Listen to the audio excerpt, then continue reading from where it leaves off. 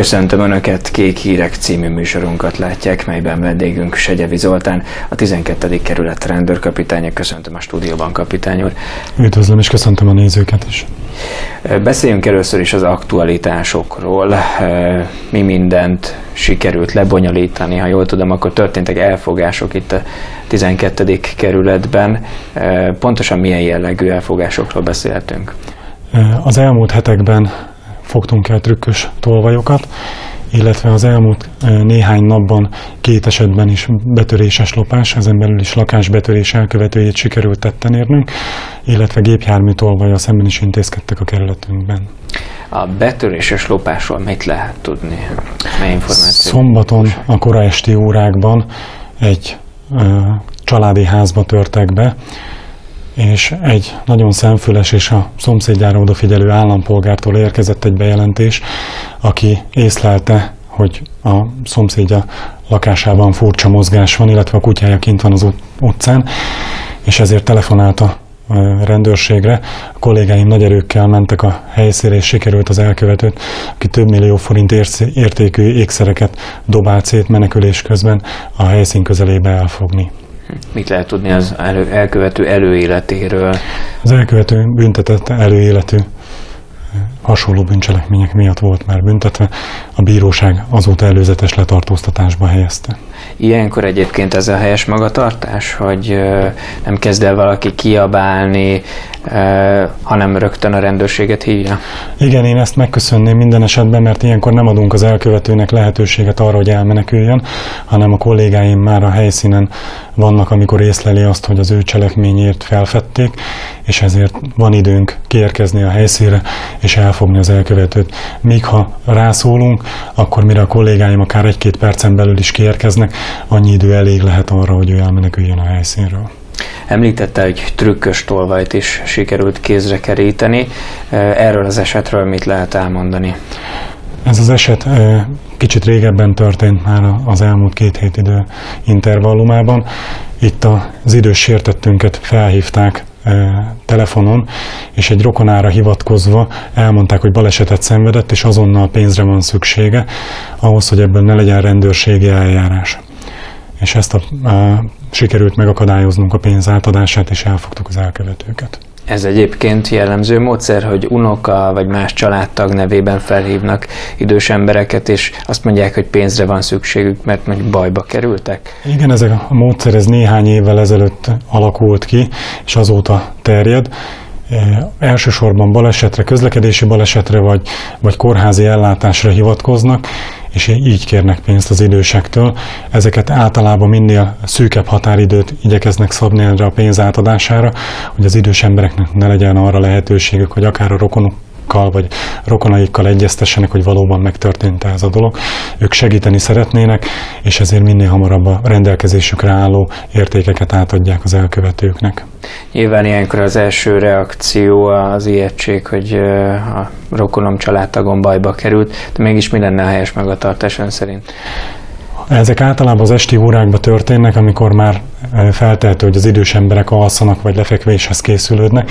Tehát még inkább az a, a lelki állapot alakul ki, hogy nem, nem gondolkoznak logikusan a, a telefonon felhívott emberek. Én azt javasolnám, hogy ilyenkor vagy a rokonainkkal egyeztessünk, még akkor is, hogyha több esetben kérték azt a telefonálók, hogy ez ne történjen meg, illetve a rendőrséget értesítsék, hogy ilyen telefonhívást kaptak milyen más jellegű trükkökkel, fondorlatokkal próbálkoznak a trükkös elkövetők? Régebben volt jellemző, ez kezd visszaszorulni ez a módszer, amikor valamilyen szolgáltató cég munkatársának adják ki magukat, vagy valamilyen szerelőnek, vízszerelőnek, villanyszerelőnek, és valamilyen a társasházban lévő problémára hivatkozva jutnak be a lakásba, és ott elterelik az állampolgároknak a figyelmét, és közben az egyik társuk eltulajdonítja az értékeket. Egyes esetben előfordul az is, hogy rendőrnek kiadva magukat kérik azt, hogy valamilyen bűncselekmény elkövető kör mozog a, a környéken, és mutassák meg az értékeiket és amíg ez megtörténik, utána terelik el a, a sértetteink figyelmét, és úgy tulajdonítják el a dolgokat. Ilyet az én kollégáim soha nem kérnek. Mi az, ami mégis feltűnhet, ami gyanút kelthet? Ugye a szolgáltatóknál most már mindenkinek fényképes igazolványa van, amit le lehet ellenőrizni különböző szolgáltatóknál, hogy az élő szerződése, és valóban jogosult-e belépni az a gázművek dolgozója, vagy elektromos művek, vagy vízművek dolgozója a lakásba. Ezt javaslom mindenféleképpen, hogy figyeljünk rá oda, hogy ilyenre van mód és lehetőség, illetve hogyha azt kérik tőlünk, hogy menjünk, nyitogassuk ki a csapokat, és majd ők közben néznek másik helységbe körül, ez mindenféleképpen gyanúsnak lehet tekinteni. Uh-huh. És akkor ilyenkor bátran kérjék el az igazolványt? Természetesen ezt elméletileg legtöbbször a szolgáltatók ki is rakják, illetve a dolgozók kirakják magukra, tehát látszik is. A rendőrigazolványok vonatkozásában ugye mindenféleképpen van egy jelvénye a rendőrnek, ami az egyenruhás állományon az egyenruháján van, és ő, őt az egyenruhája és ez a jelvénye igazolja, míg a civil ruhásoknál van ez a szolgálti igazolvány, illetve hozzátartozó szolgálti jelvény, amit fel tudnak mutatni. Ezen szerepel az, hogy intézkedésre és fegyverviselésre jogosultak. Gondolom, hogy többségében idősek az áldozatok, tehát idős hiszékeny embereket próbálnak. Trükkös bűncselekmények vonatkozásában a célközönség elsősorban az idős korosztályra terjed ki. Önök hogyan próbálják meg ennek a korosztálynak felhívni a figyelmét ezekre az esetekre? Mindenféle sajtó megjelenési lehetőségen próbálunk élni azzal, hogy tájékoztassuk az állampolgárokat az elkövetési módszerekről, illetve pont most a, a beszélgetésünk után megyek az egyik kollégámmal egy nyugdíjas klubba, ahol szintén erről a témáról fogunk beszélni. Próbáljuk megszólítani a célközönséget, hogy az időseket elsősorban ezeknek a bűncselekményeknek a megelőzése vonatkozásában. És mik az első reakciók az idősek részéről? Felismerés, hogy én is voltam már hasonló helyzetben?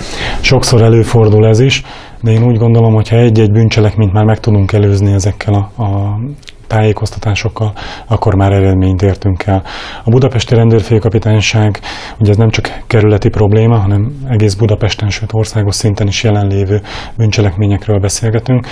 A Budapesti Rendőrfőkapitányság is kiemelt hangsúlyt helyez az idősek vonatkozásában a bűnmegelőzésre, és a Budapesti Rendőrfőkapitányság bűnmegelőzési osztálya is tart ezekben előadásokat, illetve megkeresik azokat az embereket, illetve a lakókörnyezetüket, ahol ilyen bűncselekmények történtek az újabb áldozattá válások megelőzése érdekében. Inkább elkövetői körökről beszélhetünk, tehát ők járják az országot, vagy Budapest kerületeit, és úgy próbálnak meg átverni embereket?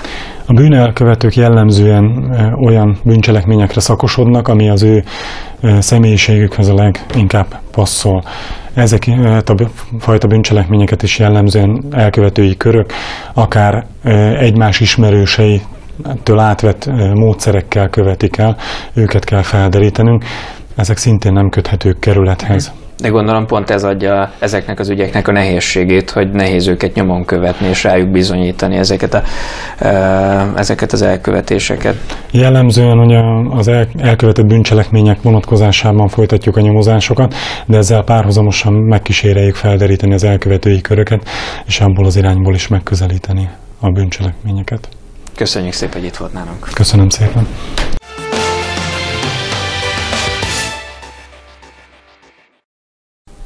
Következő vendégünk pedig Vukics Norbert, a 12. kerületi kapitányság munkatársa, akivel a gyalogos balesetekről fogunk beszélgetni, mert hogy a statisztikák szerint januárban háromszor annyi gyalogos baleset történt itt a 12. kerületben, mint egy évvel korábban. Nem tudom, hogy a februári statisztikák mit mutatnak, javultak-e az eredmények, vagy a hát, mutatók? Hát, szerencsére arról, hogy beszámoljak, hogy javultak, lényegesen javultak. Ehhez, ehhez mértem természetesen hozzá kell tennem, hogy egyébként sem egy rossz statisztikája van a Budapest 12. keleti rendőrkapitányság életőségi területén a, a baleseteknek. Budapest viszonylatában egy előkelő helyen vagyunk az alacsony számot tekintve. Persze ezen szeretnénk nyilvánvalóan javítani. Az első egy-két hónap statisztikája szerint a január hónapban a tavalyihoz képest volt valóban egy lényeges emelkedés, elsősorban a személyi sérüléses balesetek tekintetében. Ez gyakorlatilag annyit jelentene, hogy még tavaly egyetlen egy személyi sérüléses baleset volt, addig idei évben hat személy sérült meg baleset során. Ebből az egyik baleset során egyszerre három személy sérült meg tehát maga a, a baleseteknek a száma az lényegesen nem nőtt. Ez egy átlagos számnak tekintető, igazából ez a nagy kiemelkedő növekedés, ez nem is akkor a növekedés, mivel a tavalyi évben volt egy kiemelkedően alacsony baleseti statisztika, és ehhez mérten valóban nőtt, viszont mindenképpen meg kell említenünk ezt a dolgot, mert a statisztikáknak van egy ilyen szerepük, hogy egy figyelmfelkeltés, mégiscsak lehet egy, egy, egy olyan dolgot levezetni ebből a történetből, hogy bizony a, a gyalogosoknak jobban oda kell ezekre a, a dolgokra figyelni, ugyanis ezeknek a személyis és baleseteknek a, a során nagyobb részben a gyalogosok hibájából a gyalogosok sérültek meg, és ugye nyilvánvaló, hogy a, a gyalogos a legveszélyeztetebb személy gyakorlatilag az úttesten, a kerékpáros után, vagy a kerékpáros előtt, míg a gépjárművezető a gépjárműben biztonságban van, biztonsági rendszerekkel van ellátva, védőt a légzsák karosszéria, addig egy gyalogos személy gyakorlatilag teljesen védtelen, ezért neki bizony fokozottabban oda kell figyelni közlekedése során. A kerület mely pontjain történtek ezek a balesetek? A legnagyobb részt a, a, a Szélkálmán tér Krisztina körút kereszteződésénél fordultak elő hasonló esetek, illetve a Szilágyi Erzsébet fasor Városmajor út kereszteződésénél, Zsibő utca, Zsolna, Zsolna utca kereszteződésénél, Alkotás utca mentén fordul elő leggyakrabban, sajnos hasonló jellegű személyisüléses baleset, Alkotás utca, Márvány utca kereszteződésén, ott több gyalog átkelőhely található, általában nagyon erős a forgalom, ezek a területek, amik fokozottan veszélyeztetettek. Mire kell odafigyelniük a gyalogosoknak, illetve az autósoknak? Hát így van, nagyon jó kérdés, mert nem csak a gyalogosoknak, nyilvánvalóan a személygépkocsi vezetőknek, gépen vezetőknek is nagyon jobban oda kellene egy kicsit figyelni. Ugye az év elejé időszak, a késő téli, koratavaszi időszak az elég változékony időjárás szempontjából. Itt gyakrabban találkozhatunk csúszós, vizes úttesttel, időnként jeges, fagyos úttesttel. Gyalogosok azon sajnos ilyenkor ezt elfelejtik, tudomásul kell, hogy vegyék, erre oda kell, hogy figyeljenek, hogy a csúszós, hideg időben, nedves úttesttel rendelkező, aszfalttal rendelkező időben nekik sokkal körültekintőben kell a gyalogátkelő helyre lelépés előtt meggyőződni arról, hogy biztonságosan átjutnak. Sajnos a gyalogos baleseteknek a, az egyik legnagyobb része a, a forgalmi hiányzító fényjelző készüléknek a tilos jelzése ellenére is mégis lelépünk az úttestre, ez miatt következik be. Gyakorlatilag nem várjuk meg a, a piros jelzést, és átszalulunk, sietünk. A másik fontos gyakori tényező sajnos, amikor váratlanul lépünk le az úttestre, Megáll a gyalogos az útszélén, nem elég körültekintő, türelmetlen, és hirtelen mozdulattal váratlanul lelép a, a gépjármű ilyenkor a gépjárművezető nem fog tudni reagálni, nem tud majd időben megállni. Ugye az mellett, hogyha figyelembe veszük, hogy egy nedves úttesten közel egyharmadával megnő már a féktáv, ha ez az úttest nem csak nedves, hanem jeges, esetleg hókásás, akkor két-háromszorosára is megnőtt a féktáv, ezért a gépjárművezető még ideális esetben sem fog tudni majd biztonságosan megállni. Nagyon gyakori még, amikor egy tolató gépjármű mögé lép le gyalogos, erre is volt példa, nem is egy. A parkoló gépjármű, mikor megpróbál kiállni, akkor hirtelen a gyalogos lelép a, a gépjármű mögé, akkor szintén nem fog tudni a gépjárművezető időben reagálni, bármilyen jó reflexekkel is rendelkezik, nem fog tudni a balesetet elkerülni.